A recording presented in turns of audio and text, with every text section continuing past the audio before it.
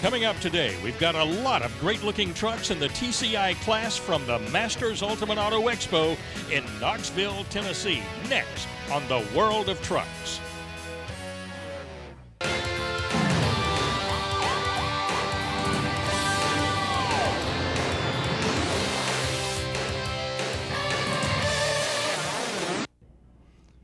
Today on World of Trucks from the Masters Ultimate Auto Expo, presented by O'Reilly Auto Parts. From Chilhowee Park in Knoxville, Tennessee, welcome everyone. I'm Claude Wood.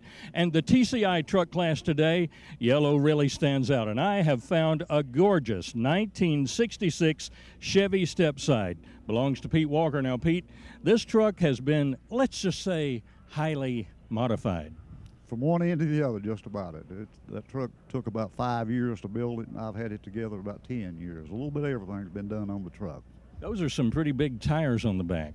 Well, I done those tires back years ago before there was a nine-inch Ford rear end, and that is a Chevrolet rear end cut down with Chrysler axles and Chrysler end plates.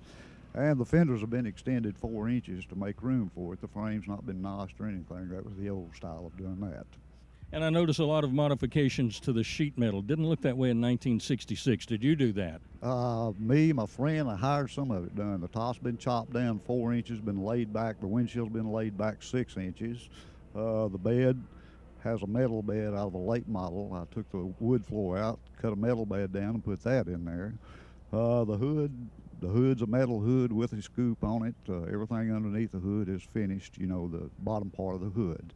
Uh, the engine is 327. It's the old original block that was in the truck when I got the block. That's a neat dashboard too. Well, the dashboard, everybody wants to know where I bought that at. I didn't buy that. I took it and had it made.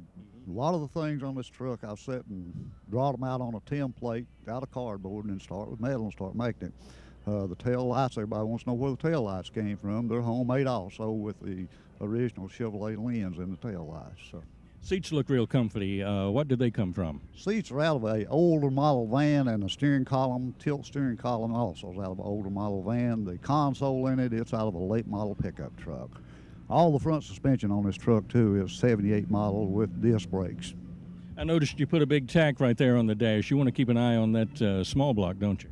Well, I like to hear a small block scream, and it'll get up there and scream. So I've got it set on about 6,800, and it has no problem at all getting up there at 6,800. So it's screaming then. So you're telling me when you're out here on Interstate 40 or somewhere, you can hear it scream? I can hear it scream. I love to hear it scream. all right, there you go. Pete, thanks a lot for bringing it out. Hey, gorgeous truck. You want to see some more? You've tuned into the right place. We have them right here on World of Trucks. You know, people spend hundreds of dollars, thousands of dollars, sometimes hundreds of thousands of dollars to restore their trucks. They want them to look clean, pristine, pure, perfect but rat rods are making the comeback. And the thing now is to leave it as it was, all natural. And Kevin, you got to step on up in here. There's a, a, great story behind this. It's actually Frankenstein together. Now, first of all, tell me where the, the chassis came from because that's actually what the whole thing sits on. It's a 1950 Ford car chassis that's been shortened. Uh, the truck cab is a 1935 Ford. It's been channeled over it with a 35 grill shell and a, a uh, 46 model Ford truck bed that was actually made out of an old trailer that I got and made and put on it.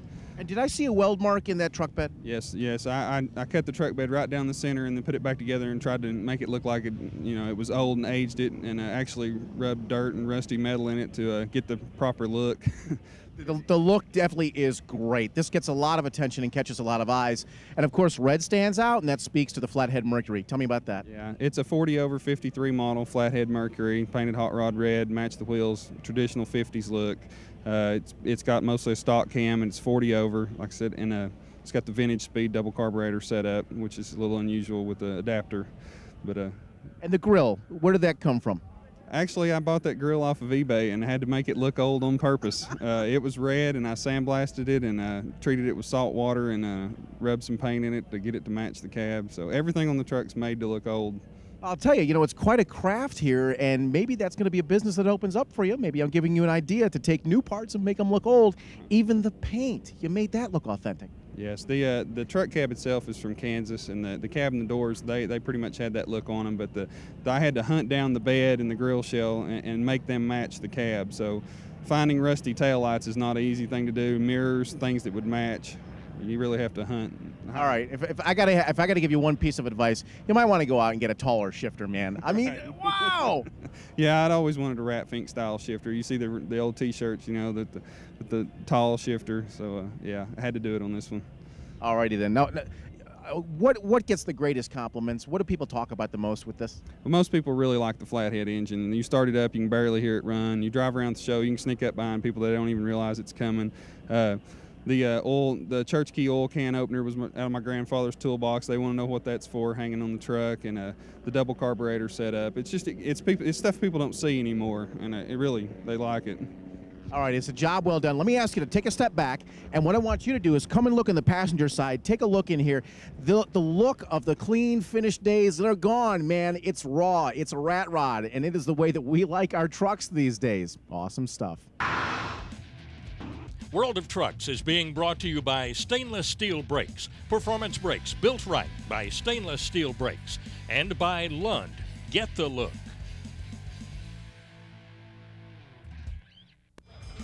Welcome back to the World of Trucks from the Masters Ultimate Auto Expo presented by O'Reilly Auto Parts. Now, here's Bill Stevens. These trucks, such size, such power, like this one right here. Take a look at it closely. Look at this big brush bar in the front, seemingly there to push life out of the way for wherever this driver wants to go. And the wheels, big, aggressive tires and heavy duty suspensions that can literally drive over anything, anything at all that gets in the way of this driver who knows where he's headed in life. And look at the mural on the side. I mean, you can almost picture that somewhere in those woods there are hunters with their rifles standing by waiting for their quarry to come into their sights. The trucks that we see at events like this are huge, they're sizable, they have power, they have bearing. So it's not hard to imagine that the driver of this truck plays golf.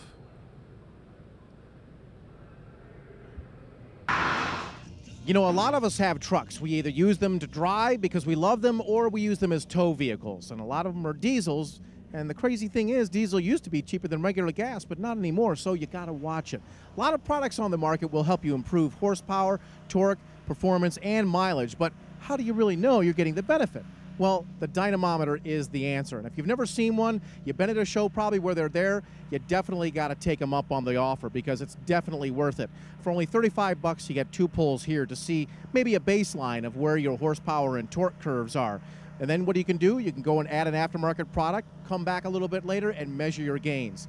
The dynamometer, the mobile ones are awesome stuff here. Now these are transported from event to event. It's an eddy current dynamometer. Some work with water, some work with other methods, but basically there's a big motor here that has no power. Well, when you run the engine, rather the motor, with the power delivered by the drive wheels of your vehicle, well then power is fed in. Just enough to resist, to get a little resistance behind the drive line, and then you can actually measure and calculate exactly how much horsepower and torque you got. Now, torque is the magic thing with diesels. Remember, big pistons, short stroke, and that's what you need for pulling power. So, what I want to do here, why don't we fire this big bad boy up, this 99 Ford here, and then why don't we just see exactly how much power it's got.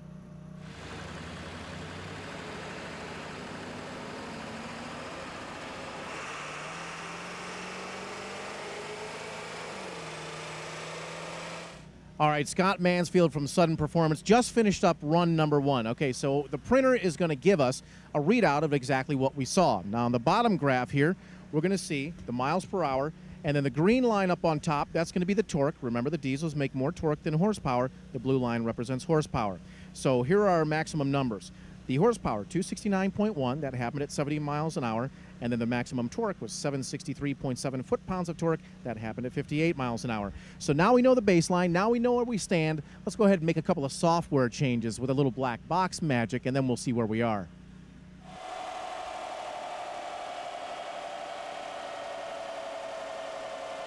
All right, last time a whole lot of smoke, Scott. That's not what really matters. What matters is the power. Before we get into the numbers here, how popular is it for people to come on by and get their trucks run on the dyno? Uh, everybody wants to see what they improve every time they do an upgrade on their motor or the diesel truck and all their old cars, muscle cars and everything like that. They want to see what they gain from doing rear end changes, transmissions to cam change, uh, anything that you can add to a car to soup it up All right, awesome stuff. And we uh, made some software changes here. This is our first graph. Let's go ahead and stack it up. What do we got, Scott? We have here on the first run, we had 269.1 at 70 miles per hour.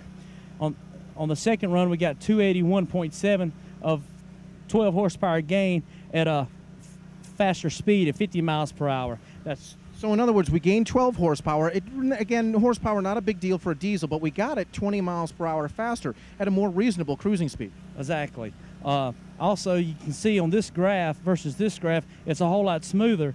Uh, the torque on the second graph uh, was 960 at 47 miles per hour versus 763 at 58 miles per hour on the first.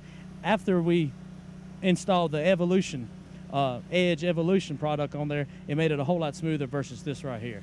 I'll tell you, you know what? This happens at a more reasonable, usable speed. Not a lot of time, not a lot of money, not a lot of effort. Big benefit. And you know what? If you see the mobile dyno, get in line because this is one hot tool. Stay with us when we come back. More great looking trucks from Knoxville.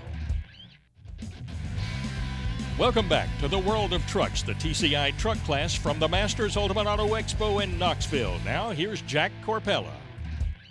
Well, we found one of the true contenders from last year. Yes, again, this bright teal 56 Ford F100 is going to be one of the competitive trucks here this weekend. You can see the beautiful paint just reaches out and grabs you. And we'll talk to the owner over here once again, Julia. You know, it's been a year since we've talked to you, but uh, the truck is still looking like it's one of the players out here. Well, thank you. We've won uh, several awards with it this year. And I've uh, I've noticed that uh, the truck certainly isn't any sloppier. It's still very spotless. You're definitely putting your work and hours in on the uh, on the buffing. We do. Uh, we work on the on the car together. I see we do. Bob, your husband here. It's a husband and wife team. Now, who Right. who does most of the maintenance? Uh, we both work on it together. Okay, smart answer. Smart answer. I do the hauling, she does the working. All right, let's talk a little bit more about the truck. The thing that I like is you got the bright teal paint, and then looking in the motor, you got the engine block also powder coated bright teal, the power steering pump bright teal, the brake components bright teal. You guys really took a, a, a catching color and ran with it. Yes, we did. We really liked the color, and we wanted everything to be either powder coated, chrome, or the teal. So that's why you see so much teal. Bob, let's talk a little bit about the, the motor. I see you got a, a beefy aluminum V8 in there. What kind of horsepower are we putting out? Oh, this one's probably around 250 horsepower. It's it's basically a stock engine, 351. 351. What kind of transmission do we have in there? It's C6 automatic. Now here comes the big question: Who gets to drive the truck more? She drives it. I do. She drives. lucky, lucky woman. I guess that's why it's hers. It's her truck. So let me ask you: How is the drive? Is it is it drive like an older truck, or is it uh, very comfortable? It's comfortable. You know, everything seems like it's it works functionally well. You, we have the air ride system. You you put it up and and uh, drive it, and then you let it down and show it. So it works out real good. What's your favorite part about this truck? The color, um, and the fact that it's neat, clean. I like that. How did you pick this Keller, if I may ask? We actually bought the truck, and it was this color to begin with, and that was the reason that we, we chose it was because of the color. Um, a local dentist had the truck before and had stopped work on it, so we just picked it up and went with it and um, made it into more of a truck than he was going to. It was going to be, you know, a driver and a just everyday truck, so we kind of beefed up everything and and fixed it the way that you know we wanted to. And how about that gorgeous interior? Oh, that's awesome. The color um, of the interior was selected because of the, the coolness of the um, the leather. It's it's tan leather and um, all chrome in there, so we really like it. You know, it doesn't matter what the truck is, we all take them very, very seriously. Some of us do it for business, we're hardcore about it, everything's got to be right. Others, well, they do it for fun. But I'll tell you one thing ain't no monkeying around here, as we got a beautiful 48 Chevy stepside. And David, first of all, welcome to Knoxville here, and beautiful machine. The most striking thing about it is what I thought was Granatelli orange walking up, but no, it's Mandarin orange. Right. It's mandarin orange. And then how did that color choice happen? Well, that's the color of our, uh, my boss picked out when he, he decided to build his truck. That's what color they decided to put on it. All right, now that's the color for a lumber company that your boss owns, and your boss owns the truck. Now, how did you get stuck coming out here in the heat to show the truck? Well, he built it specially for me to have fun because he know how to take care of it. Because I'm the only one gets up and cleans and polishes up underneath of it. All right, that's awesome stuff. What a great gift. Now, the power plant here, I'm telling you, that was not stock. Tell me about it. It's a 454 racing motor. Did it fit in there easily, or were there a lot of modifications that had to go on? I didn't have no problem getting it in. All right, wow, awesome stuff. And then, uh, am I looking at air conditioning added after the fact? It was put on when they put the motor in. All right, got to have the creature comforts. Come on, let's go inside. And by the way, you know what? You got monkeys all over the place. What's up with this here? How come? I'm just crazy about monkeys. Any particular reason? No, I just always have like monkeys. All righty. Well, you know, some people say that about some TV personalities sometimes, but we won't griff any names. But on the inside here, the color is carried in. The dash is molded up very, very nicely. Who did all that work? Profab. All right. And was it to their design, or did uh, your boss? designed the whole truck. He told them how he built it, and they built it in six months. Wow. And the uh, the seating here, where did that come from? It come out of a Ford truck. It, they they recovered. They got upholstery people though too that done the whole thing. All right. You know the crossbreeding happens all the time, putting Ford parts into a Chevy and vice versa. The bed here is really. Say it again. It's got a Ford rear end, and Mustang II front end. Nine inch. Yes. All right. I put that pole's pretty nice there. Best front end you can have in a truck like this. A Mustang II. Yeah, and then uh, back here, I was looking at the bed. Very, very nice. It's well protected. Does not show any signs of weather. Uh, it's oak. They put about six coats of stuff on it. And then how much time you mentioned you're the one that actually puts the elbow grease to it and keeps it clean. How much time do you spend? Mostly about a, a day to do it. A whole entire day. All right. Well, you know, I'll tell you what. No monkeying around here. This one definitely tight, clean, and right. Stay with us here on the World of Trucks. More great looking trucks coming your way. World of Trucks is being brought to you by Jet Rack, the world's best sliding rail ladder racking system, and by Real Wheel, made in America by Americans for the worldwide road. Feast your eyes on the 05 F250. No, up here. I'm up here. Yeah, yeah. All it takes is a lift kit, tires, and wheels to get this big 250 11 inches up in the ground. Phil, you have got this thing sitting high as a roller coaster. Yeah, it's pretty big for sure. What do, what do you, what do you, what's it like to drive this truck when it's that high up in the air? Oh, it's not that bad. It drives like it like it did stock. It's just a little bit bigger. Why the, why the choice? Most guys lower them. Why the choice to bring it up? Well, I've built five lowered trucks. I figured it's time to build a big one. So. How difficult it was it converting the wheels and the, the lift kit? Uh, it wasn't that bad. It took us about eight hours to put the lift kit on, uh, mount the tires and everything, put it all together. So wasn't terrible. And when people walk by at the car show and they see this unique look, what do, what do they say? This is the first show we've been to, so I don't So- really know, honestly. So you don't really know. What's your impression so far? Everybody seems to like it. They look at it hard, so I guess they like it. How much fun is it to drive around the street, show off? Oh, I love it, man. Uh, That's what it's for. So you know, I love to drive it. And I know it's spotless. You must put a lot of time in cleaning. Yeah, we clean it. Uh, I don't drive it, but about once a week. So you know, it gets cleaned about once a week. So Now, despite how clean it is, are you ever tempted to take it out in the swamp or out in the uh, the dirt and do a little racing? no, no, no. Well, you say that now, maybe after you have it for a little while. So uh, finally, I want to ask you, what, what are you most proud of on this truck? Uh, oh, I guess that we got it all done. You know, it took forever to find find the wheels and tires that we wanted, so I'm just happy we got it all done. Well, all it took was wheels, tires, and a lift kit, and it's one of the highest outstanding vehicles here at the O'Reilly Masters Ultimate Auto Expo. It's time now for Product Highlight, featuring some of the most innovative and interesting aftermarket products available for your truck. I am with Tony Monda. He's the marketing director for Hallmark Industries. Last time we saw Tony, he gave us a tour of a custom motorhome and the Pro Stacker combination trailers that Hallmark manufactures. And what's new at Hallmark these days, Tony? Bill, thanks for asking. Amazing, isn't it? It's absolutely amazing. This is the latest creation from the product development team at Hallmark.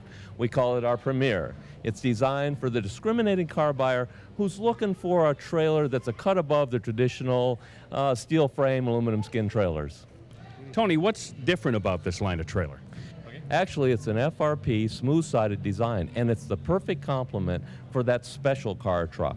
You know, our customers spend tens of thousands of dollars on their vehicles, and finally, they can have a trailer that's as unique as their custom car or truck. Can we take a look inside? You bet. All right, let's go. All right, the first thing that really impresses me about the inside of this trailer is how well organized and sanitary it is. It's got a bright, clean interior. The first thing you'll notice is these are C-Tech cabinets, high-end premium cabinets, an option with this trailer. And we've mounted fluorescent lighting above the work area for a bright environment for that detail repair job. If you look at the sides, again, they're seamless, they're rivetless, they're clean. And as you walk back to the ramp door, you'll see it's a full 95 inches wide. And as you lay the ramp door down, the hinge cover automatically engages. Finally, the rear ramp extension is designed to open totally flush, Bill, so there's no bump when you load and unload a truck, car. Trailer buyers are always concerned about the durability of the trailers. What's the construction like on this trailer? Uh, beauty is not just skin deep at Hallmark. This is a rock solid design. We built this trailer on a 6 inch tube frame with cross members on 16 inch centers. We assemble it with Huck fasteners those are the strongest fasteners available and covered up with stainless steel trim. Finally, all the Premier trailers come standard with Alcoa aluminum wheels, Goodyear tires, LED clearance and tail lighting, and an electric tongue jack. Well, I got to admit it, as a car collector myself, I am lusting for one of these products, and I can really say that you're going to sell a million of these. Thanks, and that's why we say Hallmark, built strong for the way you work and play. It says it all. Well, that puts a wrap on this edition of World of Trucks from the Masters Ultimate Auto Expo presented by O'Reilly Auto Parts from Knoxville, Tennessee. Now, for Jack Corpella and Bill Stevens and Griff Allen, Claude Wood, keep on trucking.